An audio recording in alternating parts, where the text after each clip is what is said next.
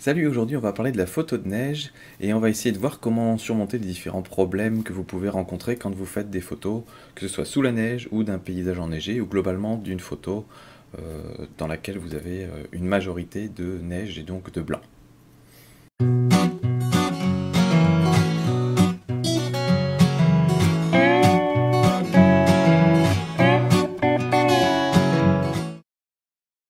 Tout d'abord, les conditions d'une photo de neige vont être bien différentes euh, du type de photographie qu'on fait euh, à n'importe quel moment sous un, paysage normal avec de l'herbe, avec des arbres, etc. Pourquoi? Essentiellement à cause du blanc euh, qui va couvrir une grande partie de l'image et qui va tromper un petit peu notre appareil photo.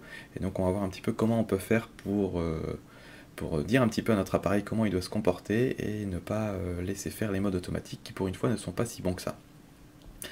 Il va y avoir aussi pas mal de conditions différentes selon que euh, vous êtes sous un grand ciel bleu en plein après-midi, ou que vous êtes en soirée avec un coucher de soleil, ou de nuit, ou que le temps est nuageux, brumeux, ou qu'il y a des chutes de neige pendant que vous prenez votre photo. Tout ça, ça va amener des conditions extrêmement différentes, et il va falloir s'adapter justement pour votre prise de vue. On va parler ici essentiellement de photos de paysages, mais globalement on pense considérer que c'est à peu près pareil pour toutes les photos dans lesquelles vous allez avoir environ 60-70% de neige sur votre photo au minimum. Si vous faites un portrait et que vous avez dans un coin un petit peu de neige, c'est pas vraiment de la photo de neige, je pense. en tout cas, ça va pas rentrer dans le cadre de ce dont on va discuter aujourd'hui. Alors, on va euh, procéder par étapes. On va donc euh, parler en cinq étapes de ce type de photo. On va d'abord euh, voir quelles sont les différentes lumières qu'on peut rencontrer. Ensuite, on va voir quels sont les réglages et les modes qu'on peut utiliser sur l'appareil photo pour essayer de s'adapter justement à ces lumières. Euh, ensuite, on parlera de composition, on parlera ensuite d'exposition, et enfin, on finira avec les retouches sur l'ordinateur. En termes de lumière sur la photo de neige, on peut passer par pas mal d'états différents selon les conditions climatiques. Euh, vous pouvez commencer euh, par, par exemple un temps nuageux et brumeux, où là ça va vous donner, euh, avec ou sans chute de neige hein, d'ailleurs, ça va vous donner un paysage très peu contrasté, ce qui fait que vous allez globalement sur votre histogramme avoir un gros pic à un endroit. Essayez de faire en sorte que ce pic soit orienté plus vers la droite que vers le centre ou vers la gauche, tout simplement parce que votre photo est claire, il y, a, il y a de la neige, donc la neige doit être claire. Euh, même si à votre œil ça vous paraît un petit peu sombre parce qu'il y a des gros nuages et tout ça, sur une photo de neige on va chercher à voir plutôt du blanc. Euh, vérifiez juste que les blancs ne soient pas cramés, mais vous allez devoir pousser votre histogramme un petit peu sur la droite. Vous pouvez aussi avoir euh, un temps qui soit couvert mais avec des éclaircies de temps en temps. Euh, là, ce qui va être un petit peu embêtant, c'est que vous allez avoir des contrastes très très différents dans votre photo. C'est-à-dire que euh, soit, par exemple, vous avez des gros nuages qui passent, et par exemple, vous faites une scène qui n'est pas très grande, vous faites pas un grand paysage, euh, et à ce moment-là, vous allez avoir des conditions changeantes. Pendant une photo, vous allez avoir des conditions nuageuses. La photo d'après, vous aurez des conditions de grand soleil, et il faudra changer tous vos réglages à ce moment-là, partez peut-être plutôt sur des modes automatiques. Soit vous avez euh, un paysage complet et vous avez des zones qui sont euh, ombragées et d'autres zones qui sont éclairées par la lumière du soleil. Et là, vous allez avoir pas mal de contraste. Donc il va falloir jongler un petit peu entre les deux pour garder du contraste dans les zones enfin du détail dans les zones ombragées et euh, ne, pas, cramer les zones qui sont, qui sont en plein soleil. vous avez ensuite l'ensoleillement, c'est-à-dire un, ciel voilà, ensoleillé mais du soir, où là vous aurez une lumière un petit peu plus douce et, et surtout des couleurs un petit peu différentes. Euh, donc là, c'est comment dire, vous allez avoir un peu plus de contraste que si c'est que si c'est nuageux. mais il va falloir essayer toujours de pousser un petit peu l'histogramme vers la droite. Et par contre, là, il faudra plus jouer sur les couleurs, parce que quand on fait de la retouche, on a tendance à mettre la neige un petit peu, un petit peu dans les bleus, et là, vous aurez des couleurs un petit peu orangées du soir, et donc il va falloir essayer de trouver la bonne, la bonne balance entre les deux. Euh, et enfin, la, zone euh, la, plus contrastée, c'est si vous avez euh, si vous avez un paysage ensoleillé en plein jour, disons à 3 heures d'après-midi avec un grand soleil. Là, il va falloir gérer des forts contrastes. Vous allez avoir des zones sombres très noires et des zones claires très très claires. Et la difficulté, justement, va être de réussir à garder du détail dans toutes les parties de la photo. Donc là, il va falloir forcément essayer de pousser votre histogramme vers la droite, voire même de cramer certaines parties. C'est pas gênant, vu que de toute façon, dans la retouche, votre objectif va être de cramer certaines parties, vu qu'on sait que la neige c'est blanc, c'est blanc pur. Euh, voilà, il y a certains endroits où vous aurez besoin de détails dans la neige, d'autres endroits où euh, c'est pas gênant de la cramer pour que vous puissiez garder un peu plus de détails dans les ombres. En termes de réglage, moi je vous conseille de vous mettre en mode priorité ouverture, un petit peu comme, euh, comme je fais en général, notamment si vous avez des conditions changeantes, comme ça votre appareil s'adaptera automatiquement. Et par contre, vous allez jouer sur la compensation d'exposition. Pourquoi? Parce que euh, bah, naturellement, votre appareil va essayer de faire une, lumière moyenne, entre guillemets, mais comme en réalité, vous, à vos yeux, tout, tout paraît très très blanc, euh, il va lui chercher à rendre ça un petit peu gris, donc vous allez devoir utiliser la compensation d'exposition pour faire ça. Si par contre vous avez des, conditions un petit peu difficiles, c'est-à-dire que euh, par exemple vous avez un sujet en mouvement, euh, vous voulez photographier un skieur par exemple, et au début il sera tout petit dans votre, dans votre cadre et ensuite il sera très gros, vous pouvez à ce moment-là peut-être essayer de vous mettre en manuel, bien exposé pour votre skieur, et euh, à ce moment-là, le reste du paysage sera toujours exposé de la même manière et ça ne va, pas, euh, va pas changer en fonction de, votre, euh, de ce que capte votre, votre système d'évaluation de la lumière. Mais voilà, globalement, priorité, priorité ouverture, je pense, pour pouvoir, bah, pour pouvoir bien régler votre profondeur de champ et tout ça. Et puis éventuellement en manuel, mais de toute façon, jouer sur la, compensation, la compensation d'exposition parce que votre, votre évaluateur de lumière va se tromper de toute façon.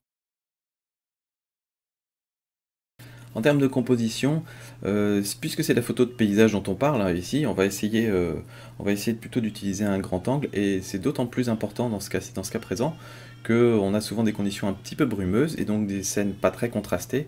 Donc ce qui va vous intéresser en utilisant un grand angle, c'est que vous allez avoir plus d'éléments dans votre photo et vous avez plus de chances d'avoir des éléments contrastés les uns par rapport aux autres. Par exemple, si vous zoomez très loin sur de la brume, vous allez avoir quelque chose de quasiment tout gris. Si au contraire vous dézoomez, les choses qui sont plus proches de vous vont être plus contrastées et qui sont plus loin vont être moins contrastées. Et donc il va y avoir entre guillemets du contraste entre ces zones-là et euh, ça va être plus plaisant à l'œil. Donc essayez plutôt d'utiliser les, grands angles pour, euh, pour, ce type de photo de neige. Euh, si vous, avez du ciel qui est intéressant, si vous avez un ciel pas tout bleu mais avec des nuages, ou bien complètement nuageux mais avec du détail dans les nuages, essayez de faire pas la règle des un tiers, un tiers, un tiers, un tiers de ciel, un tiers de scène et un tiers de premier plan, si vous avez un premier plan intéressant. Un, truc intéressant qui peut être pas mal, notamment si vous avez la lumière du soleil qui vient sur le côté, c'est de vous mettre quasiment au ras de la neige, et là vous pouvez avoir les, euh, reflets des, cristaux de neige sur votre premier plan, ça peut être assez joli. Euh, et essayez aussi pas mal de jouer sur les lignes de champ parce qu'en fait dans la photo de neige on va avoir une photo qui est globalement très simple ou en tout cas très uniforme parce qu'on va avoir beaucoup de blanc et euh, à ce moment-là, l'œil va essayer de chercher des formes géométriques, des choses qui vont lui parler, et notamment voilà, utiliser des lignes de champ, ça peut, être, ça peut être une route, ça peut être une clôture, ça peut être des montagnes, mais euh, des lignes de champ qui vont dessiner un petit peu le, paysage. Si vous prenez une scène d'une piste de ski où tout est blanc, c'est blanc en bas, c'est blanc en haut, il n'y a pas vraiment de ligne, ça va être un petit peu ennuyeux comme photo. En termes d'exposition, euh, comme je vous l'ai dit, votre, mesureur d'exposition, je ne sais plus comment ça s'appelle ce truc, le light meter on dit en anglais, mais euh, voilà, votre petit capteur d'exposition va se tromper, euh, il, va, il va lui voir une scène tout en blanc, et il va se dire, hum, c'est pas normal, ça doit être trop exposé, donc je vais diminuer mon exposition pour avoir le fameux 18% de gris en moyenne, excusez-moi. Et, et, donc le résultat c'est que vous allez avoir une photo avec de la neige grise qui évidemment correspond pas à ce que notre œil voit. Et comme je vous dis, même par temps couvert, euh, nous, nos yeux ont tendance à s'adapter, et en réalité, dans nos souvenirs, on a de la belle neige blanche. Donc, euh, essayez de faire en sorte que, dès la prise de vue, vous ayez de la belle neige blanche. Donc, pour ça, il va falloir utiliser la compensation d'exposition, euh, notamment quand vous êtes dans les modes automatiques. Si vous êtes en manuel, vous ne pouvez pas l'utiliser, mais vous pouvez, quand vous faites une demi-pression, voir si votre appareil photo pense que c'est correctement exposé. S'il pense que c'est correctement exposé, c'est que vous allez en réalité être un peu sous-exposé. Donc vous allez utiliser la compensation d'exposition. De combien? Ça dépend un petit peu de la quantité de, blanc que vous avez dans votre photo. Euh, on va dire en gros, hein, si vous avez 30% euh, euh, de neige dans votre photo, vous allez probablement devoir compenser à environ plus 1. Et si vous avez quasiment que de la neige sur votre photo, ça peut aller jusqu'à plus 3, plus, plus 2,5, plus 3 stop de lumière pour exposer correctement. Mais dans tous les cas, regardez ensuite sur votre photo et euh, voyez si, euh, ou sur votre histogramme, voyez si vous avez des blancs qui sont surexposés. Ce, qu'il vous faudrait en fait idéalement, c'est que vous ayez des blancs surexposés, parce que de toute façon, dans le logiciel de retouche, ensuite, vous allez faire en sorte que vous, que vous ayez des blancs purs. Euh, mais habituellement, on va chercher à faire une photo où on est tout juste en dessous des blancs purs ou alors avoir un tout petit point. Là, vous pouvez y aller un petit peu plus franchement, ça vous permettra d'avoir plus de détails dans les ombres. Et euh, de toute façon, voilà, comme je vous dis, sur votre photo, vous allez faire en sorte que votre neige soit blanche pure. Alors évidemment, euh, vous ne devez pas avoir tout le blanc qui clignote, sinon vous n'aurez plus de détails dans la neige. Et euh, quand on regarde un paysage enneigé, il y a aussi des zones d'ombre, des zones avec du détail et de la texture et tout ça. Mais toutes les zones qui sont les plus éclairées doivent être blanches normalement. Donc vous, pouvez, vous pouvez y aller sur la compensation d'exposition, vérifier ensuite sur votre photo et activer la petite fonction qui vous permet de voir, de voir les blancs purs. Euh, et, vous verrez ensuite justement euh, bah, si vous en avez suffisamment qui clignotent, et si c'est le cas, c'est qu'a priori vous êtes bien. Pas trop, mais euh, pas trop peu non plus pour pouvoir avoir plus de détails dans les ombres. Voilà, alors on a ici quatre photos prises tout à l'heure, prises avec justement différentes compensations d'exposition, et vous allez vite comprendre de quoi je vous parlais justement dans la section exposition de cette vidéo. Alors la première, celle-ci, qui a été faite sans aucune euh, compensation d'exposition, c'est-à-dire que j'ai laissé l'évaluation du capteur euh, déterminer si euh, la lumière était correcte. Et voilà ce qui m'a donné. Et vous voyez qu'ici, tout ce qui est censé être blanc est en fait très très loin de la droite de l'histogramme. Et on a une photo un peu grise, et c'est les photos traditionnelles. Quand on se met en mode automatique ou sur son portable, on va avoir des photos vraiment de ce type-là. Ensuite, j'ai fait avec plus un stop. Donc là, on voit qu'on commence à être un petit peu plus blanc déjà plus de stop, là, ça c'est vraiment du blanc qui commence à être intéressant. Alors vous allez me dire, oui mais on commence à perdre un peu du détail ici. Euh, on a l'impression qu'on perd du détail, mais en réalité quand on baisse les, hautes lumières, on le récupère. Donc on l'a pas perdu, tant qu'ici on n'est pas cramé, on perd pas de détail. Et ensuite, j'ai même été jusqu'à 2 1 tiers, et donc là vous voyez qu'on est complètement à droite. Alors pourquoi cette fois-ci, j'ai pas, euh, pas cramé de blanc, parce que vous voyez ici, il n'y a pas de blanc cramé on a toute l'information.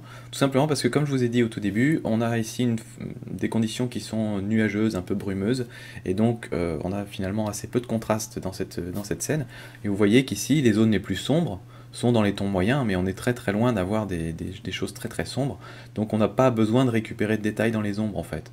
Donc euh, ce, type de photo-là euh, est déjà très très bien exposé.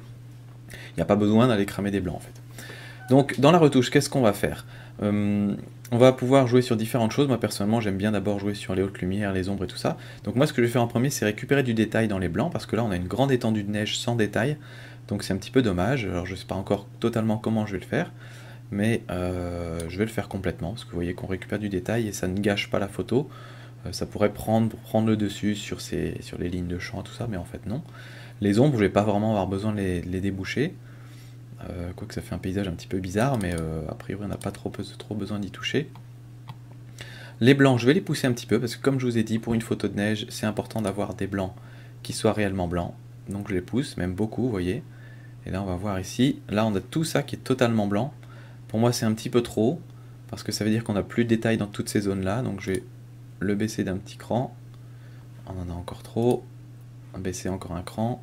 Voilà, là ça commence à être pas mal, parce que entre tout ce qui est rouge, on a du détail, on a des zones qui ne sont pas parfaitement blanches. Et donc, euh, donc ça, ça me paraît intéressant. Ensuite, les noirs, là, euh, c'est vraiment euh, à, votre, à votre goût, c'est-à-dire que si on baisse les noirs, on va augmenter le contraste, donc ça va être entre guillemets plus plaisant à l'œil, mais on va perdre le côté, le côté brumeux de la photo, et en réalité c'était un temps brumeux, donc on n'a pas forcément besoin de, baisser les noirs complètement, et c'est un des cas où justement on n'a pas besoin d'avoir un point noir sur la photo, ou alors, on va essayer peut-être de le cantonner à une zone particulière. Parce que là, ici, si je fais un point noir, si je veux mon point noir, je vais embarquer toute la forêt en même temps, et ça va pas être beau. Ça va pas être beau, on va voir euh, toute la forêt en noir comme ça. Donc peut-être ce qui pourrait être intéressant, c'est de l'avoir euh, sur les poteaux devant le point noir. Donc on va voir un petit peu ce qu'on peut faire, peut-être avec un pinceau, et euh, plutôt que déboucher les ombres, ou peut-être le contraste, on va voir, augmenter le contraste, et on va voir si on fait ça sur les poteaux. Il y a peut-être voilà, il y a peut-être quelque chose à jouer là-dessus. Euh, on va pas faire une retouche complète, mais vous voyez un petit peu le, ce, que, je veux dire par là. C'est logique dans ce type de paysage brumeux que l'arrière-plan n'ait pas de point noir, euh, ni forcément de point blanc d'ailleurs, parce que c'est la zone la moins contrastée logiquement. Par contre, ce qu'il y a au premier plan doit être plus contrasté, et donc c'est là qu'on va pouvoir euh, essayer d'avoir un peu, un peu des points noirs qui vont attraper notre œil et qui vont les emmener dans la photo. Donc c'est là-dessus que vous allez jouer, peut-être la clarté, enfin voilà, il y a des choses à jouer peut-être plus précisément. Ensuite, euh, est-ce qu'il y a quelque chose, à récupérer dans le ciel? Pourquoi pas, on va voir. Mais là aussi, attention à pas trop toucher à la forêt. Euh, si on diminue euh, l'exposition, on va faire un ciel un peu plus gris, qui, peut bien coller à un paysage de neige. On va pas y aller trop fort, mais un petit peu. voilà, en fait, il n'y a pas grand chose à faire. Ce ciel, il n'était pas particulièrement intéressant, mais là, on voit quand même des, petits, des petites zones un peu plus lumineuses et d'autres un petit peu moins, donc ça le rend un peu, un peu plus intéressant quand même. Euh, voilà, en termes de clarté, là c'est pareil, on va voir un petit peu ce que ça donne. Mais sur ce, sur ce paysage, ça, gêne pas trop si on augmente la clarté. Ça va pas trop trop, euh, on va pas trop trop perdre le côté, euh, le côté brumeux. Ou alors, encore une fois, ce qui peut être intéressant, et c'est ce qu'on va faire ici, je pense, c'est de faire de la clarté, mais essentiellement au premier plan. Donc là, hop, on va augmenter la clarté ici pour redonner du punch à notre premier plan. et euh, par contre, pas trop affecter la forêt qui est là-bas derrière.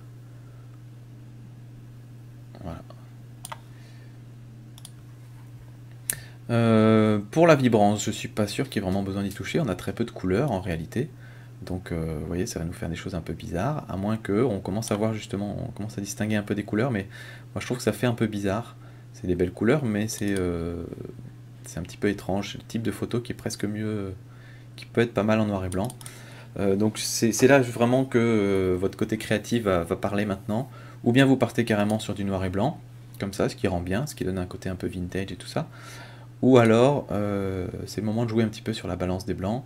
Et là, souvent, mettre une petite touche de bleu, ça donne bien, parce que ça refroidit la photo. Ça donne l'impression qu'effectivement, il fait froid. Et, donc, ça peut être, intéressant de, la jouer comme ça. Encore une fois, tout ça, ça dépend vraiment de du type de photo que vous faites. Si c'est un coucher de soleil, vous allez la jouer différemment. Si c'est en plein jour, vous allez la jouer différemment. Si vous voulez jouer une scène chaude dans un environnement froid, vous allez jouer différemment. Enfin voilà. Là, c'est vraiment très très, euh, c'est vraiment le côté créatif et chacun, chacun part dans, dans les réglages qui lui conviennent. Voilà, il n'y a pas grand chose d'autre à faire. Là, ici, on va augmenter un peu la netteté.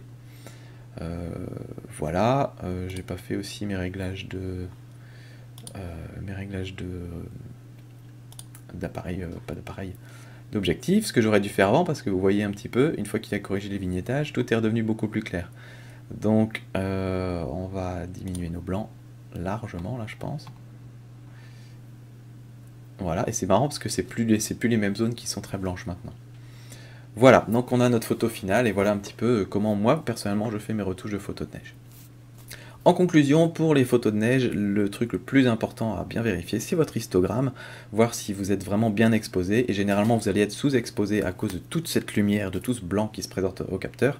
Donc utilisez la compensation d'exposition, plus 1, plus de stop, parfois même un peu plus si vous avez beaucoup de neige sur votre photo, euh, et, vous allez voir que vous allez tout de suite avoir des photos avec du blanc qui ressort, ressort beaucoup plus. Je vais vous montrer euh, quelques photos en exemple des photos de neige que j'ai prises euh, avant. Euh, pour vous donner un petit peu des exemples dans différentes conditions climatiques euh, et, vous montrer un petit peu comment moi je les ai, euh, je les ai prises et comment je les ai retouchées.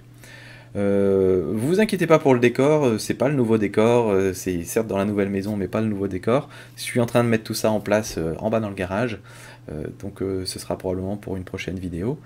Mais là c'était un peu temporaire, fallait faire vite, c'était... Bah, voilà, je dois publier la vidéo d'ici quelques jours. Euh, la neige c'est maintenant, donc c'était le moment de, tourner ça aussi. Donc euh, voilà, c'est temporaire. En tout cas, moi je vous dis à très bientôt, et puis bah ciao